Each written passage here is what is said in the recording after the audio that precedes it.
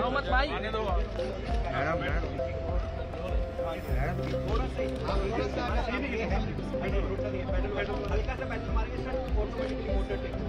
हट जाओ हट जाओ हट। जाओ हट जाओ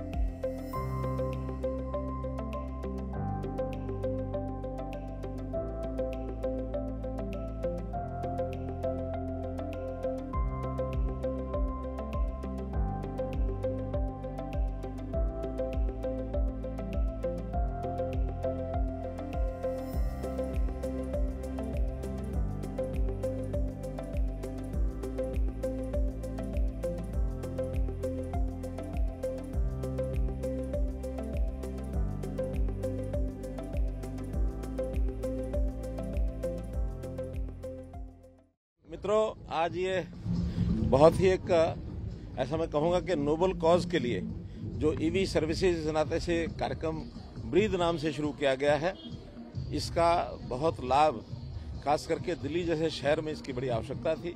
और इसको सबसे पहले चरण में हम जितने सरकारी व्हीकल्स हैं, अफसरों की गाड़ियाँ हैं, हमारे कर्मचारियों के जो वाहन हैं, और भी जो उपयोग आने वाले वाहन हैं, उनको सबको ईवी सर्विसेज़ पर लाएँगे।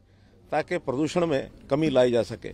हम जानते हैं कि शहरों के अंदर प्रदूषण की मात्रा बहुत बढ़ रही है और इसके अंदर जितने भी किए जा रहे हैं, प्रयोग किए जा रहे हैं, उसमें ये जो ईवी सर्विसेज़ का अपने आप में जो उद्यम है, ये बहुत ही सराहनीय है ताकि इससे प्रदूषण कम होगा।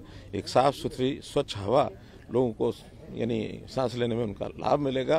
तो इसलिए इस अवसर पर जितने भी उत्पादन करता है इन व्हीकल्स के उन सबको जो नीति निर्धारण किया है जिन भी अधिकारियों ने जिन विभागों ने उनको सबको मैं धन्यवाद देता हूँ इनकी बुरी बुरी प्रशंसा करता हूँ। सर दिल्ली में पॉल्यूशन लेवल वैसे ही बहुत ज़्यादा होता है देश की राजधानी है और किस तरह से ये योगदान हो सरकार का क्या इनिशिएटिव होगा जिससे कम हो सके?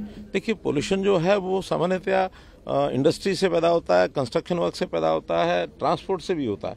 तो हर एक सेक्टर को अपने अपने जो ऐसे प्रदूषण के उत्पादन का जो काम करते हैं, उनको कम करने के लिए अपने प्रयास करने चाहिए। उसके अंदर ईवी का, यानी इलेक्ट्रिक व्हीकल्स का अपना एक योगदान है। तो इलेक्ट्रिक व्हीकल्स अगर सारे यानी देश में, शहरों में खास करके अगर उसका बदलाव होता है और सामान्य जो डीजल से पेट्रोल से चलने वाले वाहन हैं वो ईवी में अगर परिवर्तित होते हैं तो इसका बहुत बड़ा लाभ होता है। सर हर क्षेत्र में आ रहा है हमने किसान की जब कृषि की बात कर रहे हैं आपने भी ट्रैक्टर चला के दिखाई भी वाला आने वाले समय में किस तरह की उम्मीद की जाए सरकार और भी कुछ जो किसानों के लिए राहत देगी इसको लेकर? देखिए मैंने बताया कि पहले भी हर स्टेट को अपनी अपनी पॉलिसीज़ बनाती बनाई होती हैं।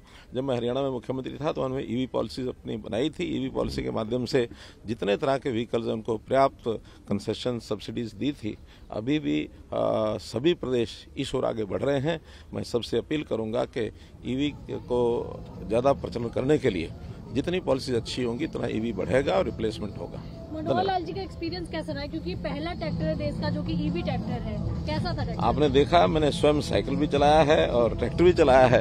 ईवी जो ट्रैक्टर है ये अपने लिए मेरा एक नया अनुभव था तो इस इंडस्ट्री को भी प्रमोट करने के लिए सरकारों को करना चाहिए प्रदेश सरकारों को खास करके।